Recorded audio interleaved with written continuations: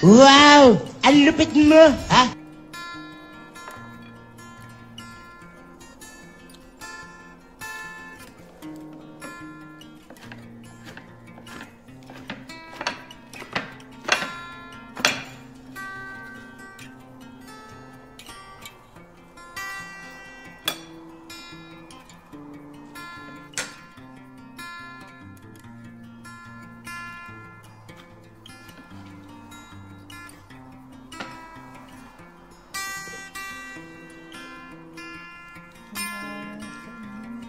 Gunggong!